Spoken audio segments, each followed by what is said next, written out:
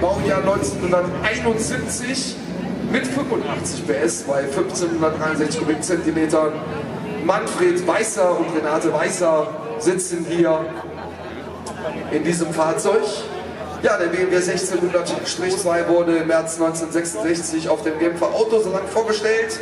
Sein inoffizielles Namensanhängsel Strich 2 sollte den BMW 1600 lediglich als neuen Zweitürer von BMW kennzeichnen, die von den größeren Viertürer Limousinen unterscheiden helfen. Also ein Zweitürer, das ist das Besondere an dem Strich 2. Mit dem Modellpfleger Anfang 1971 hieß er dann BMW 1602. Ich hoffe, ihr hattet ganz viel Spaß. Ein sagenhaftes Rot. Ist das Original? Nein, wurde nochmal wurde noch restauriert. Aber ihr müsst trotzdem viel Pflege reinstecken. Ne? Rot ist sehr undankbar. Ne? Immer noch. Schön. Steht toll da. Habt ihr toll gemacht. Vielen Dank, dass ihr dabei gewesen seid. Ich hoffe, wir sehen uns doch nächstes Jahr wieder. Einen Applaus für Manfred und Renate. Dankeschön, dass ihr dabei gewesen seid.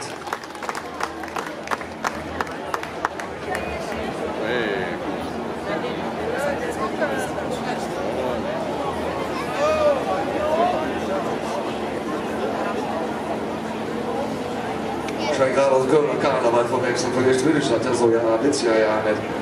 So, Chevrolet, Corvette C4. Ja, das ist. Nein, nein, nein, also. Baujahr 1991, 248 PS, meine Damen und Herren, bei 5700 Kubikzentimetern. Da würde man heute wahrscheinlich ein Stromaggregat bauen, was die ganze Stadt versorgen kann. Das ist unter dieser schönen Unterhaube eine Corvette C4 wurde im Frühjahr 1983 bis Ende 1996 als vierte Generation der Corvette gebaut. Falco Hartmann und Katharina Haschke sitzen in diesem schönen Fahrzeug. Und ja, was soll ich sagen? Also kaputt kriegt er den nicht. Also motormäßig auf jeden Fall nicht. Das wird kaum gehen bei 1300 Umdrehungen gefühlt fährt er ja noch im Standgas auf der Autobahn. Ne? Schön. Hat doch Spaß gemacht, ihr beiden? Ja? Also sehen wir uns auch nächstes Jahr wieder. Das wäre toll. Und das Starterfeld mal ein bisschen anders zu gestalten. Weil so, so eine Corvette ist auch mal wieder was Schönes zu sehen, finde ich. Dankeschön, dass ihr da wart. Bis dann! Startnummer 16, BMW Touring 1802 aus dem Baujahr 1973. Also demnach wird dieses schöne Gefährt nächstes Jahr 50 Jahre alt. 90 PS bei 1800 Kubikzentimeter. Gerhard Greienborg und Jutta Peters mit Rafael González oder solch. Aber der Rafael González, wo sitzt der? der ist, also ich habe gedacht, der sitzt hinter. Aber er sagt einfach. González. Spanier. Der BB 1602 wurde im März 1966 auf dem Genfer Autosalon vorgestellt, das hatten wir ja.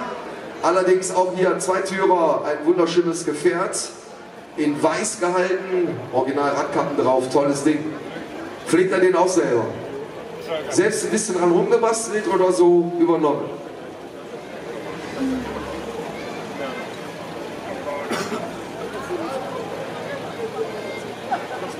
Also ein bisschen, bisschen Pflege dran gemacht.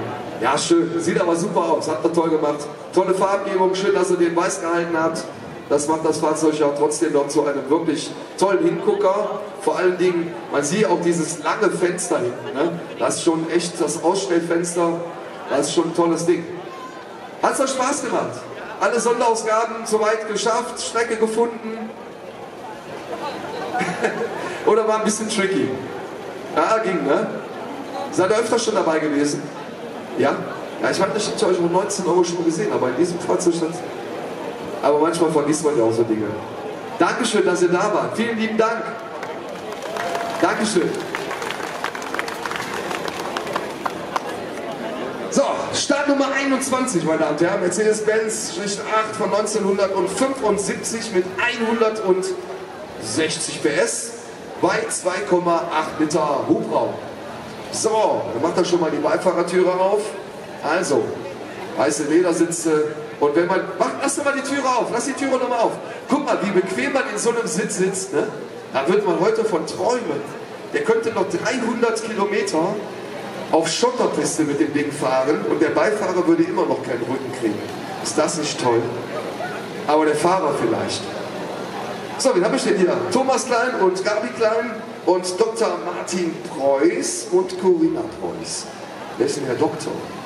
Herr Doktor, schön, dass Sie da sind.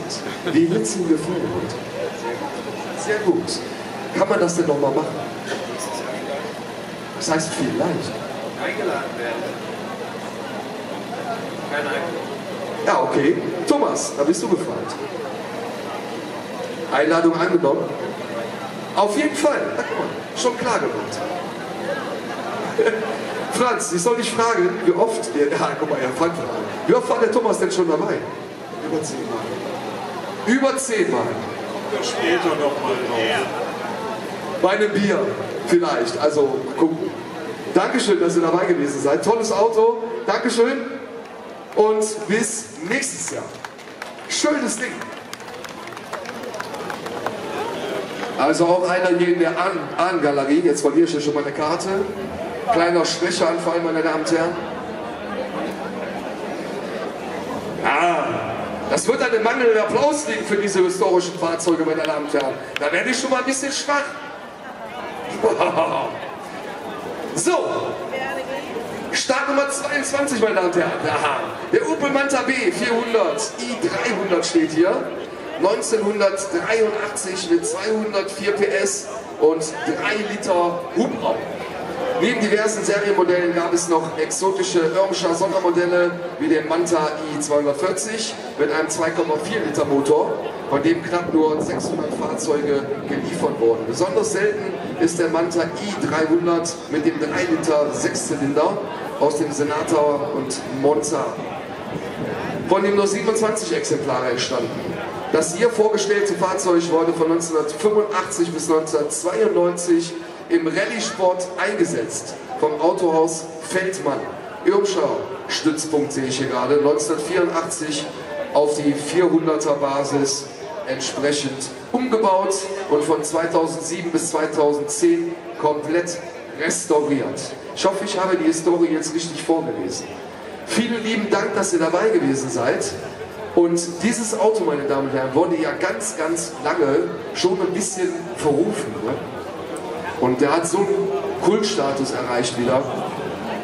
Ich finde, dieses Fahrzeug hat es absolut verdient, meine Damen und Herren. Das ist mal ein frenetischer Applaus.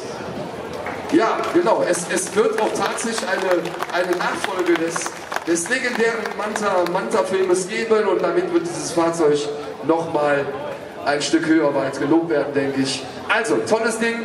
Dankeschön, dass ihr dabei gewesen seid. Hermann Josef Feldmann und Michelt Steffens. Dankeschön. So,